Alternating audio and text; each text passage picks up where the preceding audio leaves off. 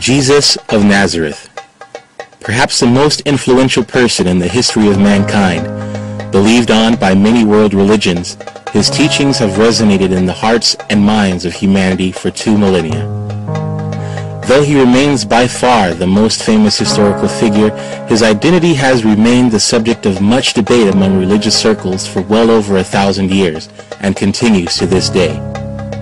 Though there exist today billion-dollar industries based on his name and legacy, even those who claim to follow him seem unclear about the doctrines and creeds built around him. Many believe Jesus to be a unique man, prophet, and teacher of the good news of God, while others believe that Jesus was and is God himself, and that here, in Bethlehem, is where God was born in human form to experience humanity for himself. This debate has been at the core of epic religious controversies, laid the foundation of entire empires, and was the backdrop for the bloodshed of martyrs. So, who is Jesus? What is he? Or can we even know?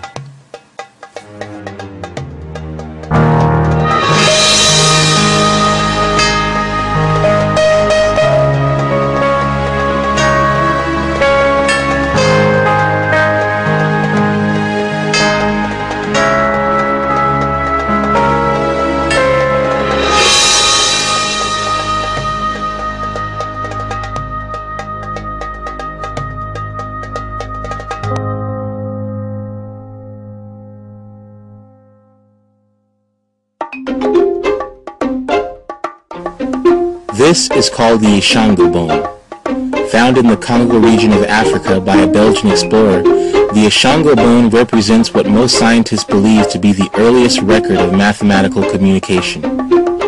It contains groupings of single cuts in the bone that archaeologists agree reflects a mathematical endeavor by their frequency and order.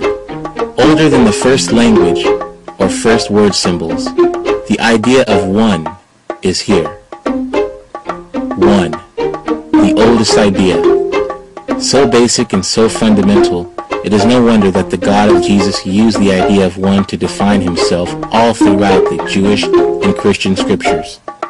Most Christians believe that Jesus is God, that Jesus' Father is God, and that the Holy Spirit is God, all while claiming that God is one.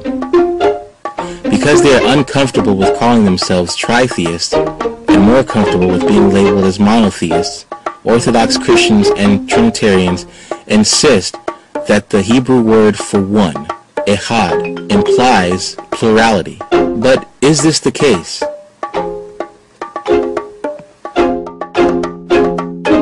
Echad means one. And that I can't, nor will I, judge what Christians have done with the word echad for the last 2,000 years. They've been rather uh, creative in taking the word one to mean three or multiples of one and so on, but that's that's not my business. I know what echad means, and if someone wants to call a chair a table, it's a free country. You can call a chair a table all you want. It's still a chair, and echad is still one. That's all I can say. For a point of view much closer to that of the Christian community, we'll go to Atlanta Bible College and gain the perspectives of one of the world's foremost Unitarian experts on the subject, author Sir Anthony Buzzard. I was invited to, to study the scriptures on this issue. I really didn't have a fixed view. I was prepared to think that we could, been, we could have been wrong. As I began to look at the biblical text and the history of this doctrine, it, it appeared there was uh, no smoke without a fire. There was something at stake here of great value. If only because the initial opposition you meet from people who haven't examined this is rather scary. They tend to switch you off immediately. But they haven't really examined this carefully. They have assumed that their leader has learned it correctly in the theological college, but they haven't realized that there may be a, a, an equally proficient clergyman down the street who's saying the opposite, who, who learned the opposite view in another college. Jesus, of course, was a Jew, and I think we as Bible readers need to always remember that. He's working out of his own Jewish heritage, his own Jewish legacy.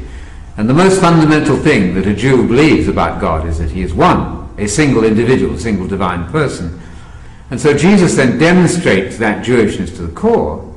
Uh, in answer to your question, what is Jewish monotheism? Well, Jesus tells us in Mark chapter 12, verse 28 and following, he is in, in conversation with a friendly scribe who is checking Jesus out to see if he's straight theologically.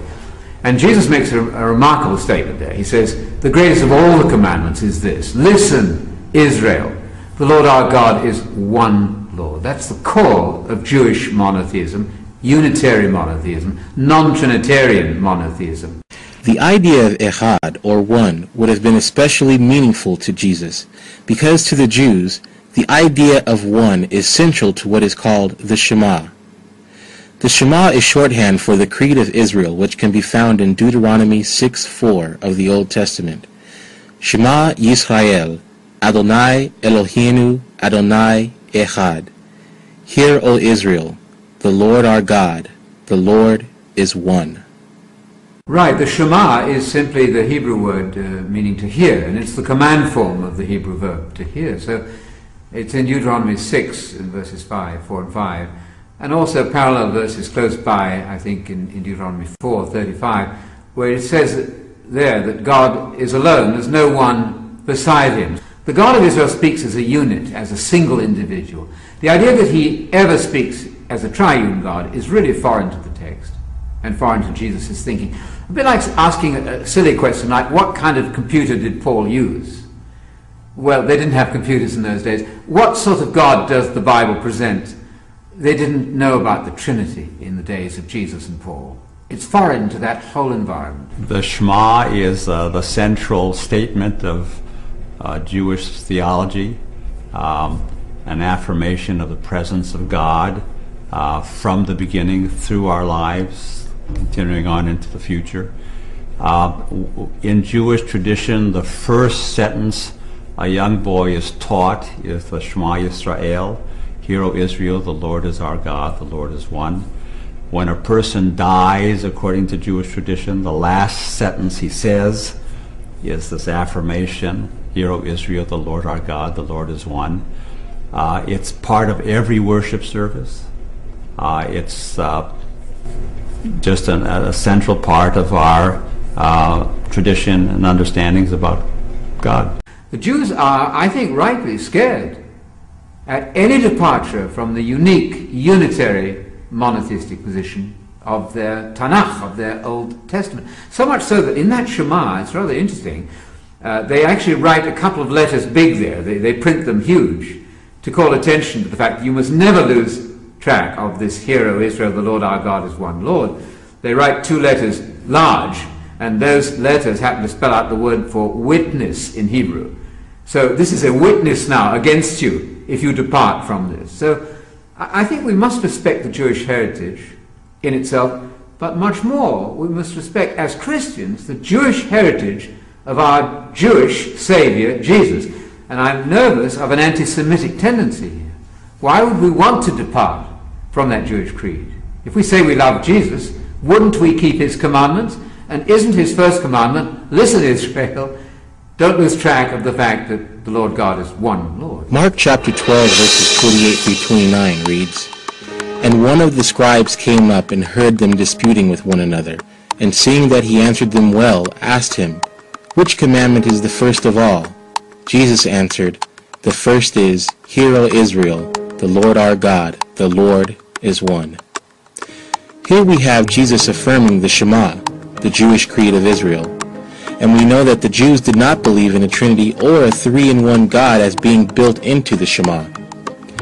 Therefore, we can deduct that Jesus himself was not a Trinitarian, but a strictly monotheistic Unitarian, meaning Jesus, like all Jews, would deny that anyone or anything was Almighty God except the God of Israel, the God of Abraham, Isaac, and Jacob.